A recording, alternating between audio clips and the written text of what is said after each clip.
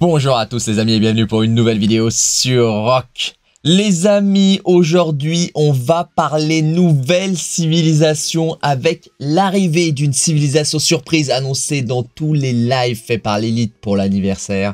Mais avant ça les amis, comme d'habitude, si ce n'est pas encore fait, bien évidemment je vous invite à vous abonner à la chaîne en cliquant sur la cloche pour être informé de toutes nouvelles vidéos. Et surtout les amis, n'hésitez pas à nous rejoindre sur le Discord de la chaîne. C'est ultra simple, c'est le premier lien en description de toutes les vidéos. Vous ne pouvez pas le rater les amis, vous y retrouvez les guides, les tutos, les tips, les leaks. Tout est sur le Discord. Les amis, donc je vous le disais, Lilith nous a fait plein plein de streams, vraiment grosse info à venir sur le futur du jeu. Et on commence par une première vidéo, la toute première qui est sortie suite au tout premier stream eu lieu, si je ne m'abuse, en Chine, avec un certain nombre d'informations. On était sur vraiment, contrairement au stream qu'on a eu plus global, hein, qui était un stream en anglais, là on était sur un stream chinois, on était vraiment focus sur l'avenir du jeu, l'avenir du KVK, c'était vraiment un entretien plus avec les devs qu'avec le marketing, comme on le verra par la suite, il n'y avait pas de reward, il n'y avait pas de quiz, vous allez voir, les questions étaient un peu éclatées. D'ailleurs. Et ils annoncent pas mal de nouveautés qui ont été redites sur le global. Déjà, ils annoncent un nouveau système de jeu, un nouveau gameplay pour le jeu avec un grand nombre de features. Par exemple et on y reviendra hein, par la suite de la vidéo ils annoncent un mode rogue mode. Alors je ne sais pas ce qu'est ce mode. En revanche le mode pêche là je sais ce que c'est. Ça fait longtemps qu'on demandait de pouvoir pêcher et ils l'ont ajouté autre chose qui existe dans un autre jeu fait par Lilith, Firelight précisément, hein, Call of Dragons, ils vont rajouter comme les behemoths, pour ceux qui ont déjà testé, des mobs, des boss en plein air. Ça me rappelle la grande époque de World of Warcraft avec les boss en plein air, mais ça va bien être implémenté en théorie en 2024. On est sur une feuille de route 2024. Mais ils n'ont pas fait que blabater, ils nous ont aussi montrer certains screens de l'avenir du moteur graphique du jeu. Beaucoup reprochent au jeu d'être vieillissant niveau graphique. Les graphismes, c'est ce qu'ils disent dans ce speech et donc ils ont revu totalement la façon dont le moteur du jeu rendait le jour, la nuit, même si c'était déjà en 3D. Vous allez le voir. Hein. On va encore une fois revenir dessus plus précisément mais ça va vraiment changer beaucoup de choses. Qu'ont-ils annoncé d'autres dans ce live stream chinois? Vous voyez d'ailleurs Rise of Kingdom en chinois en haut à gauche. Si on me l'avait montré, excepté le bouclier, je l'aurais jamais reconnu. Ils ont parlé de la nouvelle civilisation encore une fois, on y revient après sur le global avec trois screens bien précis. Hein. On les voit, le screen de deux commandants à gauche. Donc, est-ce que c'est des commandants légendaires avec certaines pistes hein? On a l'impression que c'est des Mayas. Et pour moi, c'est bien les Mayas. Vous allez le voir. Lilith a même donné trois pistes. Ils le donnent dans cette vidéo, ils le redisent sur le global. Encore une fois, la différence entre le global et euh, cette vidéo, c'est que là, c'était vraiment que pour les Chinois et les serveurs chinois. Le global, c'était pour tout le monde.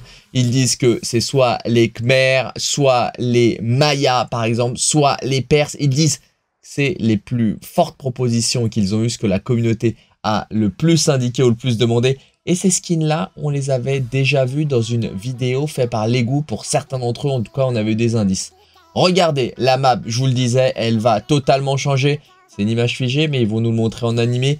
La map est totalement vide, excepté avec une troupe. C'est pour ça qu'on se doute que c'est vraiment, pour l'instant, en phase de test. Et regardez, je trouve ça plutôt sympa. Et je trouve que pour une fois, ça ressemble davantage au pub fait par l'élite sur le jeu. Alors oui, c'est extrêmement sympa. Je n'arrive pas à mesurer le degré de complexité hein, de nous présenter ça. Pour moi, s'il change déjà le moteur graphique et le moteur de rendu, ça peut aller très vite sans un gros effort de développement. On le voit, hein. il y a une petite cascade, il y a l'eau.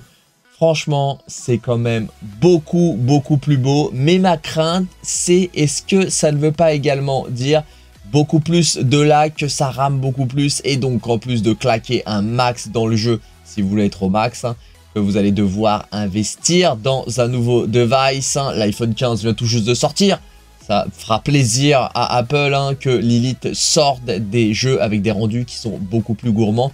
Et d'ailleurs, vous allez le voir, dans les screens du quiz, Lilith offre encore une fois des iPad Pro, enfin un iPad Pro, à croire que c'est vraiment l'outil de prédilection pour jouer à Rock. Donc on voit quatre météos différentes.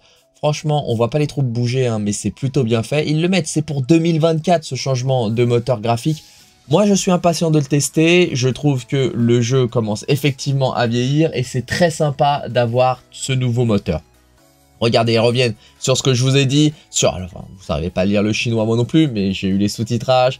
Évidemment, il parle du, des boss en plein air. On arrive à reconnaître en bas écrit boss, les boss en plein air, le mode rogue le nouveau système Osiris où on va avoir, ce n'est pas un qu'avec un, un sorte de League of Osiris par team d'alliance. On va pouvoir être plusieurs alliances à s'affronter en équipe. Alors, il donne pas trop de précision. Est-ce que ça va être des équipes de deux? Est-ce que ça va être des équipes de plus? Est-ce que ça va être chacun pour soi? Quand on voit en haut qu'il y a deux bannières, ça laisse penser qu'il y aura deux camps et différentes équipes de différentes alliances qui viennent de différents royaumes, encore une fois, ils vont pouvoir se battre. Ça, c'est tout de même une nouveauté énorme. Un Osiris par team d'Alliance. Ça pourrait déjà préfigurer du KVK en Alliance, puisque on n'aura pas le KVK en Alliance comme Lilith le proposait. On aura des, KVK limités à 800 personnes.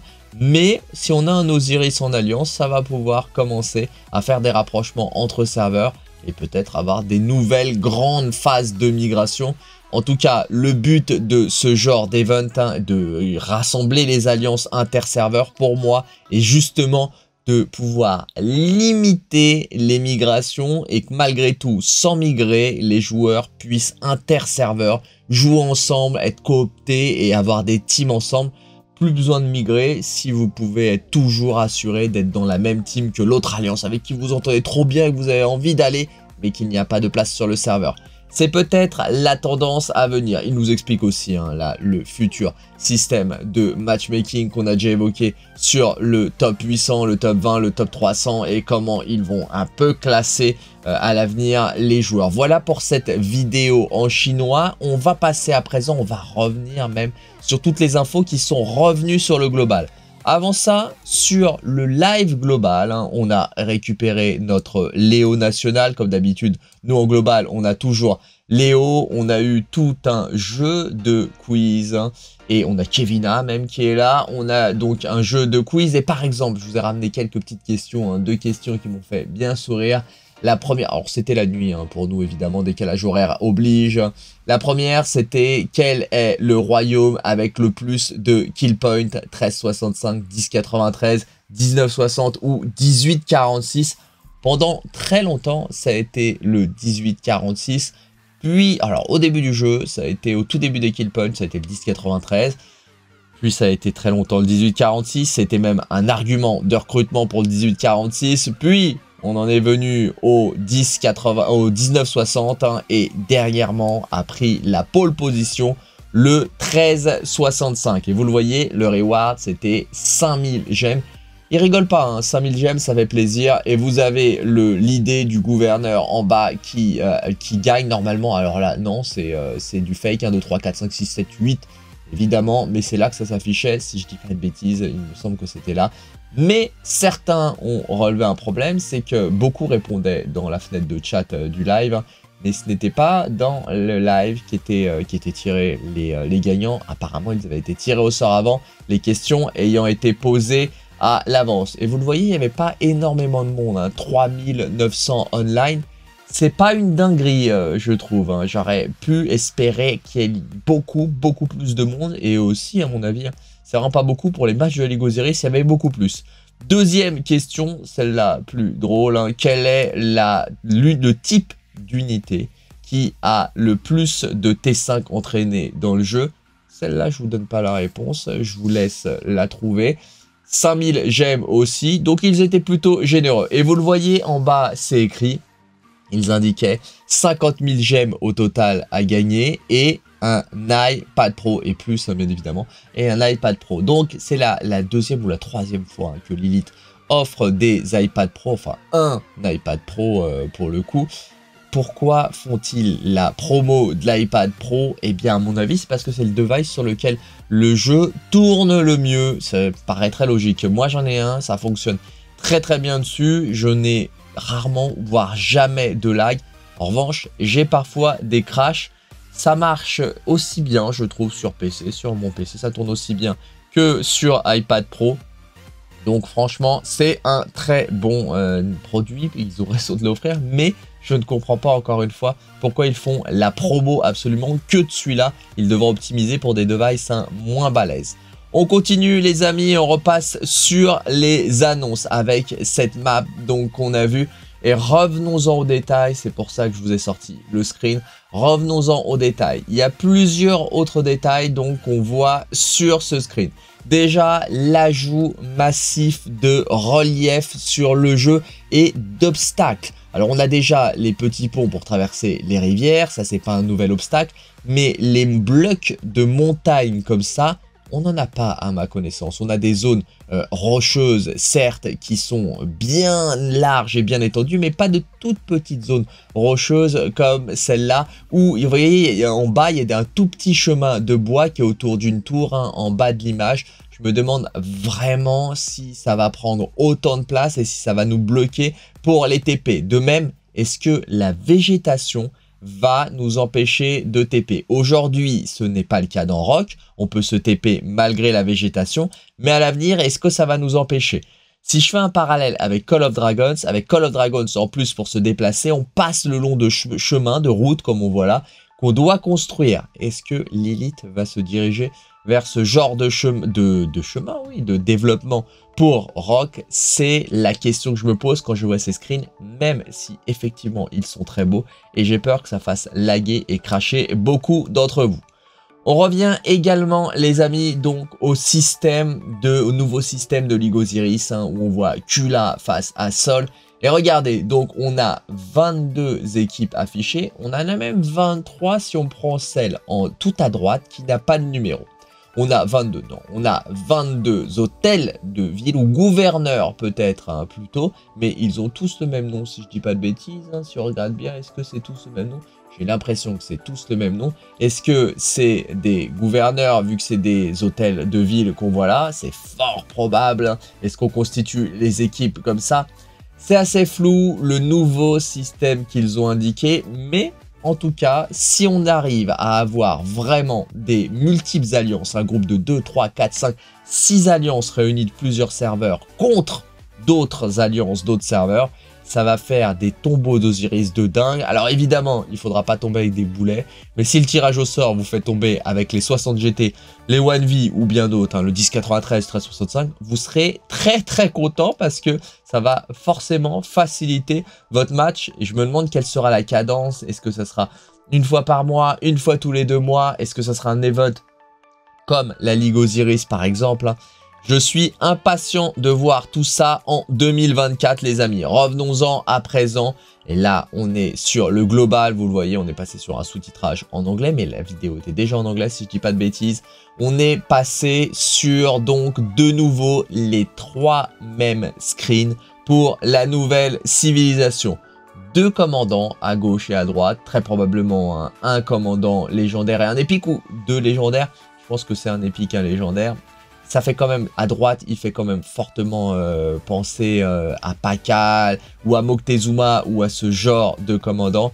Et au centre, un hôtel de ville, et vous le voyez, hein, si on reprend les images des hôtels de ville, on dirait clairement un hôtel de ville Maya. En revanche, hein, on repassera pour qu'est-ce que c'est que ce porte-à-court Faut lui dire hein, chez Lilith, les mecs, faut que Kevin aille lui dire arrête de mettre des porte-à-court comme ça.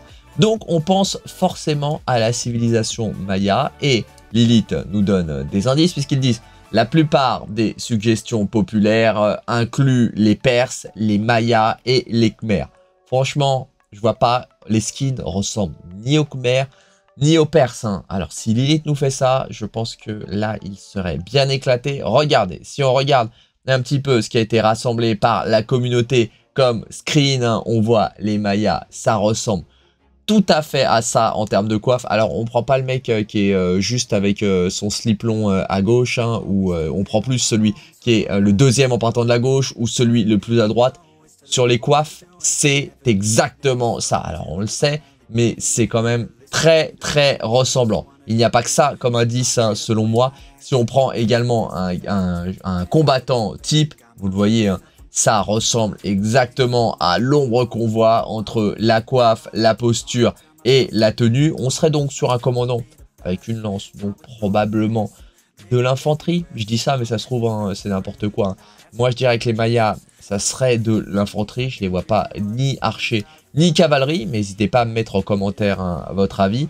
Et si on regarde un dernier screen, les amis, on a clairement l'impression que on est sur cette civilisation maya. Moi, c'est le pari que je prends. Dites-moi ce que vous en pensez.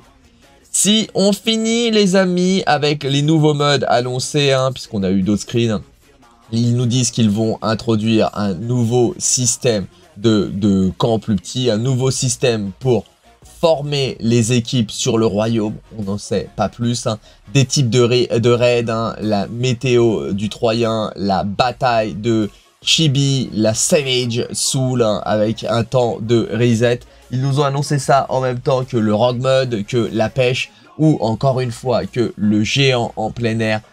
Il y a l'air d'avoir en tout cas énormément de nouveautés en développement. Vous le voyez, ça, à mon avis, euh, ce screen de raid, c'est pour les raids de plein air. On a le nombre d'équipes, on a en bas le boss, 1, sur 3, 2 sur 3, 3 sur 3, le deuxième sur 4, le cinquième sur 5 et euh, le, le, cinquième, non, le premier sur 3, le deuxième sur 4, le troisième sur 5 et le quatrième n'est pas ouvert. Donc un système de raid pour aller faire des boss en plein air ça serait vraiment topissime. Encore une fois, il faut que ce soit accessible à tout le monde et non pas qu'aux baleines et que les récompenses envahissent le coup. Mais forcément, avec autant d'ajouts dans le jeu et autant d'ajouts qui apportent des récompenses, Lilith va devoir revoir un certain nombre d'items puisqu'ils voulaient revoir le craft, ils vont devoir le faire parce que s'ils commencent à donner trop de récompenses, tout va devenir trop facile et les joueurs n'achèteront plus de bundles et ça sera plus dans leur intérêt bien évidemment.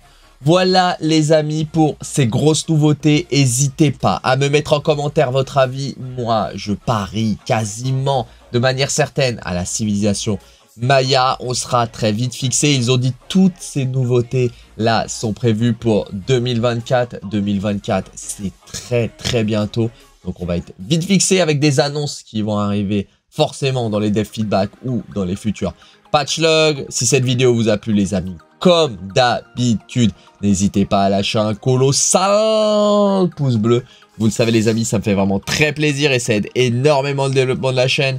Si ce n'est pas encore fait les amis, qu'attendez-vous? Qu'attendez-vous? Pour vous abonner à la chaîne en cliquant sur la cloche pour être informé de toutes nouvelles vidéos. Je vous souhaite un bon jeu à tous. Prenez soin de vous. Faites bien attention à vous les amis. Et je vous dis à plus sur Rock.